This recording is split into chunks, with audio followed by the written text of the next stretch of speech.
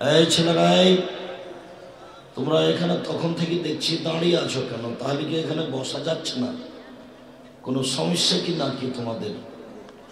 আর যারা পরিচালনায় আছেন, আমার পূর্বে আপনারা দাঁড়ালেন, অনেকক্ষণ যাবৎ ক্লান্ত হয়েছেন। এই মুহূর্তে দু মিনিট দাঁড়িয়ে একটু নিজেকে প্রস্তুতি নিতেন, ভালো। এটার কাছে আমার আপত্তি নেই। কিন্তু দীর্ঘ সময় দাঁড়িয়ে কথা শুনছেন অথচ বসার জায়গা দেখা যাচ্ছে। এইটা যে আমি পছন্দ করি না, বরং ঘৃণা করি।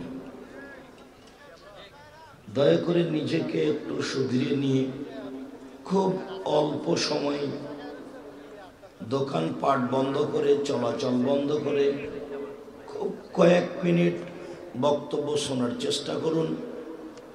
জরুরি কথা হচ্ছে যে, আবদুল্লাহর বক্তব্য দেওয়ার পরে তার বক্তব্য শেষ হলে আমার আর কথা বলার মতো এনার্জি থাকে না। তার মানে আমি কোরআন হাদিসের বক্তব্য দিই, কিন্তু ওর বলার পরে দেখা যায় যে আমি তো এ বিষয়ে বলেছি, কিন্তু এগুলো তো বলিনি। অথচ তা অতীব গুরুত্বপূর্ণ। যেমন আজকে যে বিষয়গুলি আপনাদের সামনে বলল সমাজের জন্য এই আলোচনা, আমাদের সমাজের জন্য এই আলোচনা, দিন রাত শোনা ও বোঝা ফরজ। মানে কালকে একসাথে একই প্লেটে ভাত খাচ্ছিলাম, আজকে আর কথাও বলা যাচ্ছে না। কথা বলারও পরিবেশ নেই। কি যে হলো রাতে রাতে আল্লাহ ভালো জানে। অথচ সবাই একসাথেই থাকে, খায়। আল্লাহ রহম করো। আর রব এবং এলা এত নগদ পার্থক্য করে দেখানো বিষয়টিও আজকের মতো আমার কাছে অতীতে কোনোদিন স্পষ্ট হয়ে ওঠেনি। বিপদ আপদে পড়ে যাকে বলা হয় কিছু, তিনি হলেন আল্লাহ। আর লালন পালন করেন যিনি, তিনি হলেন রব। বিপদে পড়ে তো মানুষ নৌকা ডুবে ডুবে, খুব বৃষ্টি, ঝড়, তখন তো মানুষ একবারে খাস করে আল্লাহকে ডাকে। আর যার খাস যদি আর কেউ থাকে সেখানেও ডাকে খাস করে যদি একটা বাচ্চার প্রয়োজন হয়, তাহলে মানুষ যেখানে যেখানে ডাকে, সে সে হলো এলা। যেটা আমাদের কাছে খুবই স্পষ্ট। আজকের বক্তব্যটা আপনারা যারা মিডিয়া ব্যবহার করছেন, তারা এটাকে একবারে খুব বেশি বেশি জাতির সামনে পেশ করার চেষ্টা করে। জাতির জন্য এটা অতীব জরুরি। মানে অতীব জরুরি। খুবই ভালো ছিলাম কালকে। দেখি আজ আর কথাও নেই। সম্মানিত দিনী ভাই বোন এই আলোচনা, এরকম আলোচনা খুব মানে সূক্ষ্মভাবে বিবরণ আমি আকরামুজ্জামান বিন আব্দুল সালামেরও দেখি। এনারা আসলেই কোরআন হাদিস বুঝেন। আসলেই কোরআন হাদিসের সারমর্ম কি? হাদিসের ব্যাখ্যা বিশ্লেষণ কি? বিদ্যানগণ সালাফি বিদ্যানগণ হাদিসের কি ব্যাখ্যা বিশ্লেষণ করেছে? এইটা এদের মুখেই স্পষ্ট বোঝা যায়। আর আমি আব্দুর রাজাক বিন কত পড়াশোনা তো জানি না। আমি বিষয়ের উপরে কিছু হাদিস অনুবাদ করে আপনাকে একটু পরকালমুখী করার চেষ্টা করি।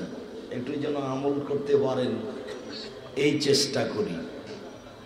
আজকের দোয়া প্রার্থনা ও দোয়া কবলের শর্ত।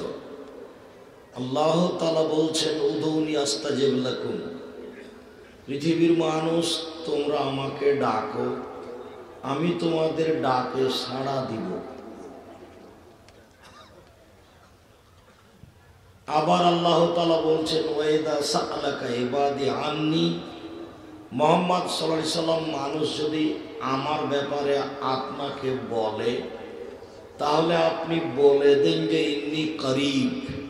আমি খুব নিকটে আছি। উজিব দাওয়াতা দাইয়ে যাতা আমি যখনই আমাকে কেউ ডাকে, তখনই আমি তার ডাকে সাড়া দিই।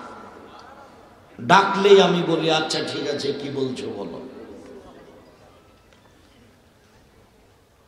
আনাস তালা আনহ বলেন, রসুল সাল্লাহ আলী আসাল্লাম বলেছেন, আল্লাহ তালা বলেন মানে হাদিসে কুদ্সি, আল্লাহ তালা বলেন জবনাদম মা দাওতানি ও রাজাউতানি, এ আদমের ছেলে মেয়ে শোনো তুমি যেভাবে ডাকো, আমি সেভাবে থাকি।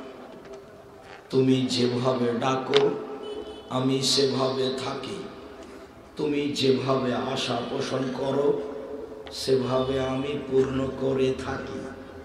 তোমার আশা যেমন, আমার পূর্ণ করা তেমন। তোমার ডাকা যেমন, আমার সাড়া দেওয়া তেমন তেমন। তুমি যেভাবে ডাকো, আমি সেভাবে থাকি। তুমি যেভাবে আশা পোষণ করো, আমি সেভাবে পূর্ণ করে থাকি। অলা উবালি আমি পরোয়া করি নে, তুমি কত বড় পাপি। আমি পরোয়া করি নে, তুমি কত বড় পাপি। আমি পরোয়া করি নে, তুমি কত বড় পাপি। তুমি যেভাবে ডাকো, আমি সেভাবে থাকি। পরের বাক্যে বলছেন ইয়াবনাদম লবালাগাত জনুবকানানাস সময়। এ আদমের ছেলে মেয়ে, শোনো, তোমাদের পাপ বেশি হতে হতে হতে যদি আকাশে লেগে যায়, পাপ আর পাপ, পাপে পরিপূর্ণ আকাশ জমি ফাস্তাক ফরতানি এরপরেও তুমি আমার কাছে ক্ষমা ভিক্ষা চাও। পাপের কারণে যখন তুমি আমার কাছে ক্ষমা ভিক্ষা চাও গাফার তোলাকা তখন আমি তোমাকে ক্ষমা করে দিই। বলা উবালি আমি পরোয়া করি নে, তুমি কত বড় পাপি। আমি পরোয়া করি নে, তুমি কত বড় পাপি। যেভাবে ডাকো আমি সেভাবে থাকি। যেভাবে ডাকো আমি সেভাবে থাকি। তুমি কত বড় পাপি, আমি পরোয়া করি না। হাদিসে কুদ্সি আবুজার গেফারি রাজি আল্লাহ আনহ বলেন রসুল সাল্লাহ আলী আসাল্লাম বলেছেন, আল্লাহ তালা বলেন আদম। এই আদমের ছেলে মেয়ে, শোনো এরকম নাহারে এ আদমের ছেলে মেয়ে, শোনো, তোমরা তো শুধু খালি দিন রাত পাপ করো, তোমরা দিনে পাপ করো, রাতে পাপ করো, তোমরা দিনে পাপ করো, তোমরা রাতে পাপ করো, দিন রাত খালি পাপ করো আর পাপ করো। পাপ করার পরেও আমি তোমাদের আর একটা কাজ করি কি? যখনই আমাকে ডাকো আস্তাক ফেরলাকুম জনুবা জামিয়া, তখন আমি তোমাদের সব পাপকে ক্ষমা করে দিই তুমি যেভাবে ডাকো আমি, সেভাবে থাকি। তুমি যেভাবে আশা পোষণ করো আমি, সেভাবে পূর্ণ করে থাকি। ওই হাদিসেরই শেষ বাক্যটা হচ্ছে এই যে, আবার আল্লাহ বিচার মাঠে উপস্থিত হবেন। সমস্ত পুরুষ নারীর সামনে উপস্থিত হয়ে বলবেন ইয়াবনাদম লাতাইতে নবী কোরাবিলাম যে খাতাইয়া সুম্মা লাকিতানি লা তুশরিক বিশায়া লা আতাইতুকা বিকরাবিহা মাগফিরা। এ আদমের ছেলে মেয়ে, শোনো, তোমরা আজকে বিচারের মাঠে উপস্থিত হয়েছ, পাপ আর পাপ নিয়ে, পাপ আর পাপ, আকাশ জমিন পরিপূর্ণ পাপ। আমিও আল্লাহ এখানে উপস্থিত হয়েছি বিচারের মাঠে। তোমাদের যেই পরিমাণ পাপ, আমার সেই পরিমাণ ক্ষমা। তোমাদের পাপের সম পরিমাণ ক্ষমা নিয়ে উপস্থিত হয়েছি। যদি শীত না থাকে, তোমাদের যে পরিমাণ পাপ, আমার সেই পরিমাণ ক্ষমা। তোমাদের যে পরিমাণ পাপ, আমার সেই পরিমাণ ক্ষমা। যদি শীত না থাকে, তোমাদের পাপ যত, আমার ক্ষমা তত। তোমাদের পাপ যত, আমার ক্ষমা তত। যদি শীত না থাকে, আল্লাহকে ডাকলেই সহজে পাওয়া যায়। ডাকে কে? ডাকারই তো সময় হয় না আবার ডাকার হিসাব নিকাশ উল্টা। আল্লাহ তালা আমাদের নবীকে বলছেন, এই ছেলে